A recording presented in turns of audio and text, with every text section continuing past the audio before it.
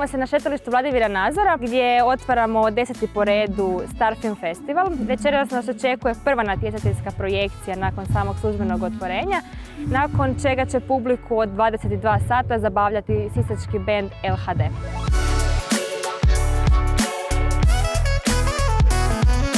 prekrasna večer da obilježimo početak Star Film Festivala i da ja imam priliku da im čestitam njihov prekrasan deseti rođendan.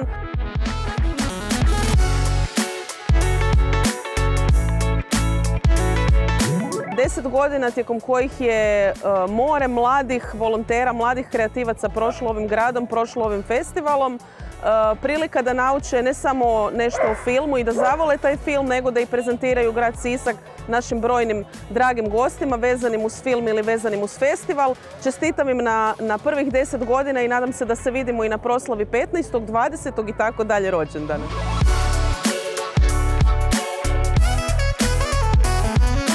Ove godine je stiglo preko 900 prijava i stiglo je sa svih krajeva svijeta kao i svake godine, međutim e, došao je rekordan broj prijava iz Sjedinjenih američkih država. Ja bih izdvojila animirane filmove, ove godine su me posebno oduševili i što se regije tiče mislim da s cijelog svijeta da je došlo mnogo dobrih filmova.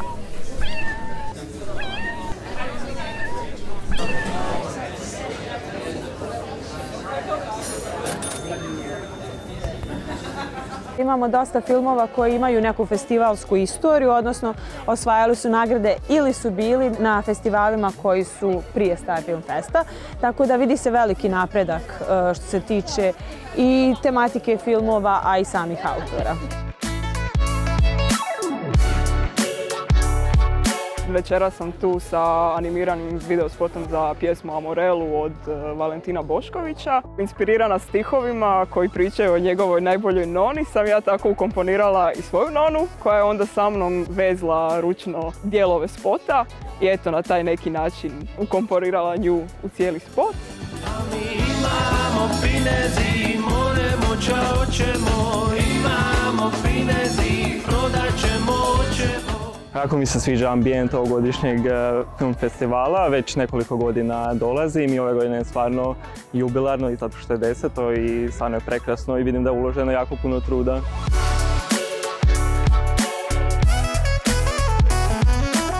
Iako sam iz Siska, ovo mi je prvi put da sam e, ove godine na festivalu. E, I stvarno mi je drago da sam došla, da sam posjetila, tako da sve pohvale za organizatore i kompletan ambijent, atmosferu i sve.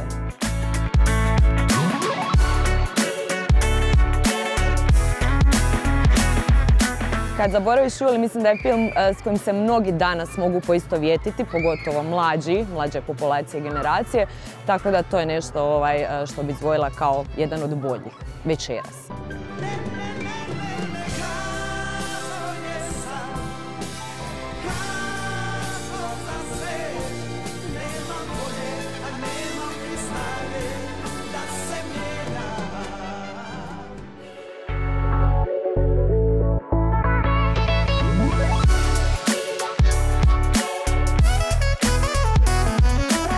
Izdvojila bi film Overtinker, e, zato što mi se svidjela radnja, pošto on cijelo vrijeme se bori i želi nešto napraviti od svoje karijere i onda na kraju se razboli. Šta je ovo bilo, majko moja?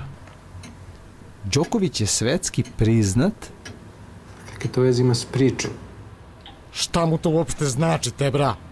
Idi mi se najledenijom vodom da zaboraviš ovo.